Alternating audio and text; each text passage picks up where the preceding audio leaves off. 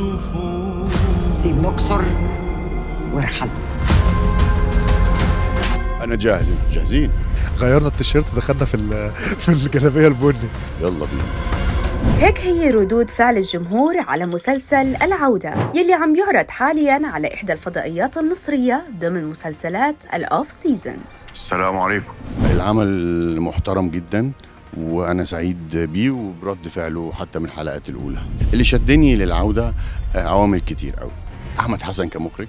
أحمد حسن مخرج رائع وصديق عزيز وعنده دايما يعني شغف للي جاي وربنا يكون في عونه صاحي ما بينامش. أحلى حاجة في الورق ده إن الحمد لله إن هي بطولة جماعية بيتصدرها شريف سلامه طبعا. كل واحد بطل في خطه. ربنا وفقني أنا وفريق العمل إن إحنا نختار آه، الأساتذة والفنانين.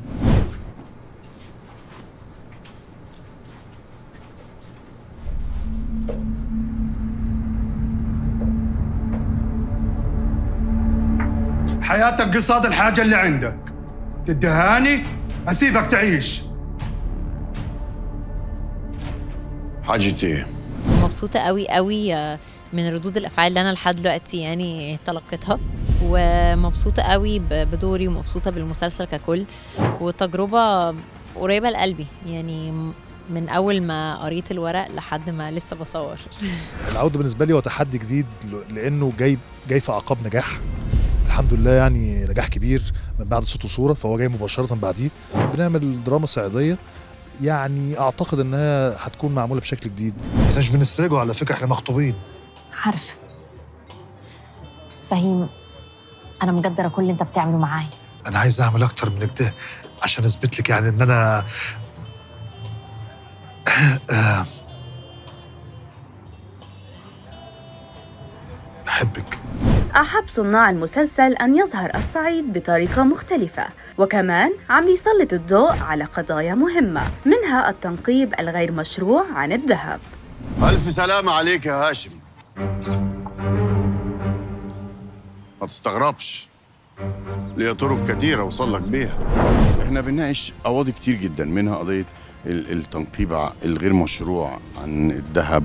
في قواضي كتير اجتماعية وإنسانية من خلال الشخصيات كلها. قضية الأمانة والشرف وقواضي كتير جدا تتعلق بال بال بالحق يعني عموما.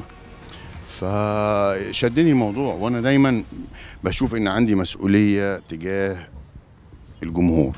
دي مسؤولية ومسؤولية اتربيت عليها من أبويا الله يرحمه مخرج الراحل سلامة حسن.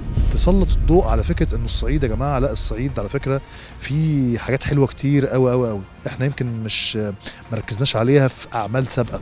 أكتر حاجة ممكن تكون فعلا عجباني في شخصية كيان إن هي آه، شخصية موجودة دلوقتي معانا.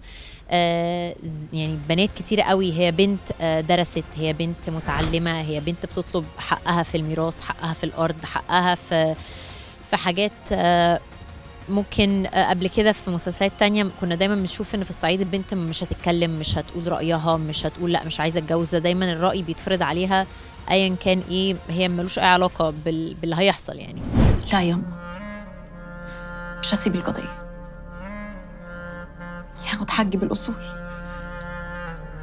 ياخده بالقانون وإتقان اللهجة الصعيدية كان تحدي كبير بالنسبة لبعض نجوم العمل. لا بنتكلم صعيدي زين يعني ما ما, ما تخافش يعني. بس لازم يكون معانا برضو الأستاذ عبد النبي الهواري لأن هو مش مجرد آه، مصحح لهجه لا الراجل ده فعلا بجد عنده سنس شاعر وسنس اديب بنت من الصعيد بس في نفس الوقت هي دارسة في القاهرة. ودخلت جامعه في القاهرة فهي دكتورة بيطرية. ففي مزيج كده خفيف ما بين اللهجة القاهرية وكمان لسه متمسكة بال بالحاجات ال- الأصول بتاعتها اللي هي من الصعيد. ففي آه، يعني مزج كده لذيذ عملناه وده كان مهم قوي يبين إن هي درست وإن هي فضلت شوية في القاهرة فأخدت برضو من اللهجة القاهرية يعني. فأظن ده كان دايما مش صعب بس هو فعلا زي تحدي إن أنا ما أروحش تماما للهجة الصعيدي وفي نفس الوقت ما أروحش للهجة العادية اللي أنا بتكلم بيها. آدم الموضوع ملوش أي علاقة بيا. أنا فعلا بعت لك رسالة عشان تيجي تدور على أخوك. أنا بعمل خير ومليش أي غرض تاني. لتخرج ملحمة العودة بهالشكل اتطلب من مخرج العمل أحمد حسن مجهود كبير. فكرة إنك تشتغل مسلسل صعيدي في الظروف اللي إحنا فيها دي وبعد الأعمال الكتيرة الناجحة جدا صعيد كان خطوة جريئة جدا وفي ال off season كمان الموضوع صعب جدا. اللهجة والأجواء وال locations وال... والتفاصيل واللبس الحاج أختك يا هاشم هي اللي بتجري ورا آدم. البلد كلها مش هتسامح. ارحل يا آدم. وإني على